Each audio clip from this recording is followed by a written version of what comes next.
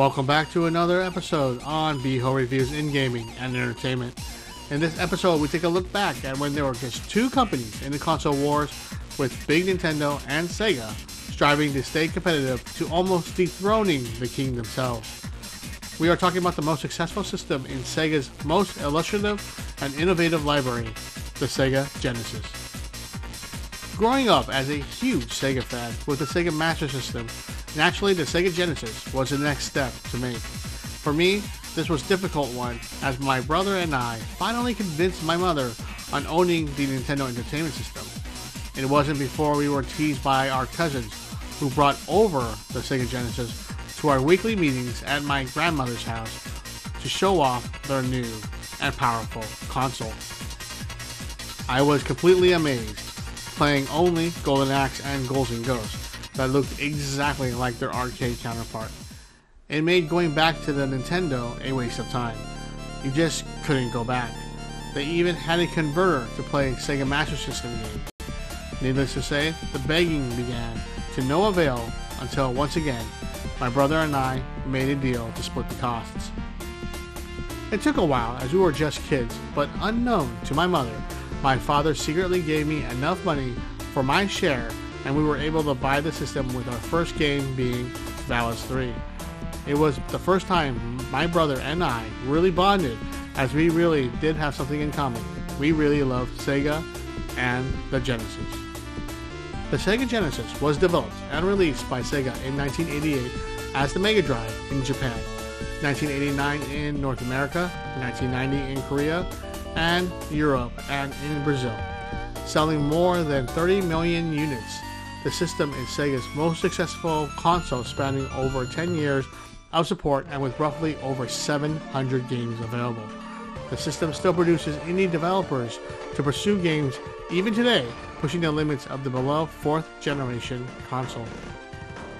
With company founder Charles Bluhdorn passing away, then CEO David Rosen and Hayao Nakayama arranged a buyout of Sega and was installed as its CEO in 1984.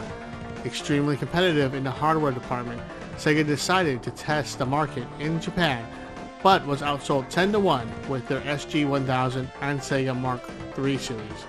Luckily, this was a success, as they knew they were they were not even going to be competitive from the start. With new competition to well-known computer giant NEC and its PC Engine, Sega knew they needed something big and new, as the PC Engine architecture was much more than Nintendo's Famicom, essentially pushing the 8-bit technology to its limit. They decided to push to 16-bit processing in order to remain competitive and relevant. Turning to one of Sega's strengths were their arcade department in helping them create something close to the Sega System 16 arcade board for a standalone home console. With the Mega Drive name in Japan, Rosen wanted this to be a new beginning for Sega and named the console for North America Genesis. Needing marketing help in the US, they were dissatisfied with Tonka Sega moved to talks with Atari with a licensing agreement in the US. Atari declined, deeming the console was far too expensive and was also wanting to concentrate on the Atari ST instead of confusing the market more. In the end, Sega of America acted on their own and decided to release the console in New York City and Los Angeles. With Nintendo still dominating the market, Sega could only muster 500,000 sales in its first year with a goal of 1 million. Changes needed to be made, and the hire of Tom Kalinske was the man to lead the charge. With Kalinske's savvy and surrounding him with game advisors, they were able to make waves with their new strategy in creating an American team of game developers that target the American audience, expand aggressive advertising that hit their competitors hard, and to replace the bundle game from Altered Beast to a hit game like Sonic the Hedgehog, and to, of course, lower the cost of the console. This began the console wars as we know it in the 1990s. With their aggressive campaign and advertising, the Sega Genesis increased their sales, while Nintendo were shocked about the resolution had the Super Nintendo to be released in 1991 that had given Sega enough time to bolster their games library and to directly cross-examine games on both consoles. Instead of waiting for the Super Nintendo, consumers would opt to the Sega Genesis, and when the Super Nintendo finally arrived, Sega would outsell Nintendo 2 to 1, owning 65% of the 16 bit gaming market and continue to do so for four consecutive Christmas seasons. All be told, the Genesis was the cooler console to own for teenagers and adults when compared to the kid friendly Nintendo brand. With help in supporting department with Electronic Arts, the system would also be known to play sports very well on the Sega Genesis. With their killer app and system seller, John Madden Football, would be a staple mark helping Sega gain more of the market share from Nintendo. Soon, to keep up with the newest technology, Sega would then add the Sega CD and 32X to little financial success, but to be the first in doing so. These caused consumers to start losing faith in the system, where Nintendo kept pushing the SNES to its limitations and innovations with Star Fox, Donkey Kong Country, and Yoshi's Island without adding to their system at all. Although moving on to the Sega Saturn with their failed 32X, Sega stopped support in 1997, but wasn't the end of the classic 16 bit system that could.